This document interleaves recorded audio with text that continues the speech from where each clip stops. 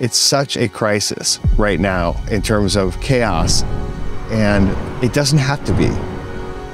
Chaos theory teaches us when you shift things in small ways, you create enormous results over time.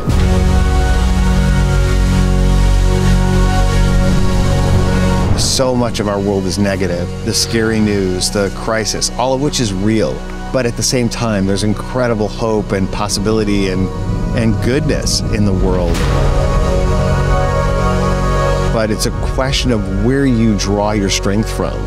And that's what I want people to do is tap into their strength and become an instrument for creating positive chaos as opposed to a victim of the negative chaos that's all around them.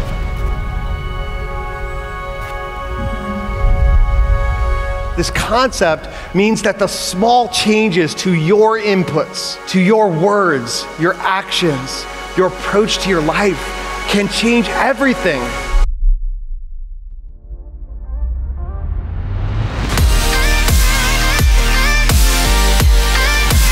The challenges you're facing at this moment, they are a repeating version of patterns that you've encountered in your past. This is the acronym for chaos challenging, hectic, anxious, overwhelming stress.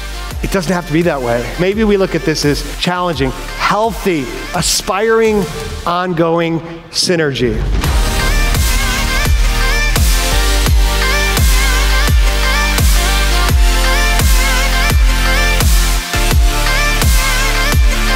It's hard, but it's an intentional challenge you choose. It's gonna be more healthy because I'm gonna prioritize my mental and physical health. Instead of anxiety, I will choose to see what's aspiring, to see what's possible from overwhelming, which says it's now or never. We see that it's ongoing. The stress becomes synergy when we see that pattern. We're going to implement some technology and help make this more abundantly clear. Lights, please.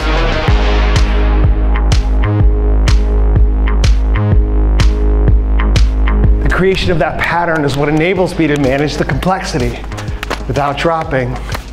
But then patterns will change in our lives, in our businesses. We adapt, we adjust, and we remember it's all in your hands. If you limit yourself to what's comfortable, you deny yourself what's possible. If you think what you're doing now is difficult, it's time to try something harder. And when you do, this level simplifies. Once you stretch into the uncertainty, the uncertainty stretches you. And as you do, your ability will grow. If you feel overwhelmed, it may be from the inability to let go of what is out of your hands. And when you do, you'll realize it's not as fast as you thought.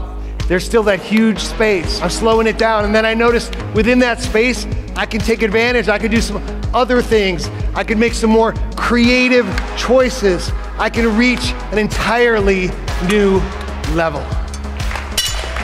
Part of living in chaos is understanding that the goals aren't always as realistic or as complete as we can think from one present moment. See, goals are about exactness.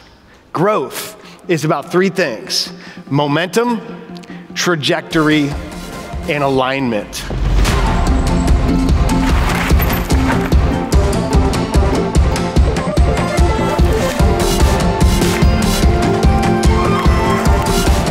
Momentum is everything, especially on a unicycle in the woods, because without movement, you have no sense of balance and you can't get over the obstacles. But if you think too far ahead, then you miss what's right in front of you. So, this activity, I love it so much because it's uniquely me, but it keeps you on the move yet in the moment, which I think is absolutely the key to success.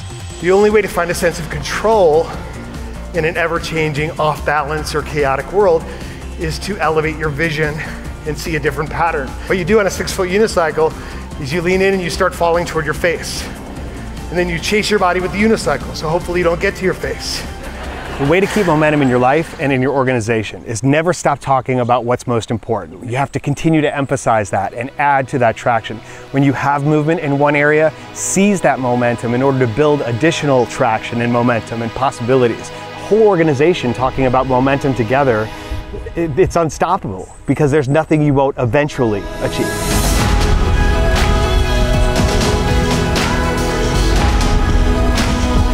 The stuff that he did was awesome. Very exciting. It was about the audience, it wasn't about him. Dan is amazing. I am going home with so much, and I cannot wait to hear him again.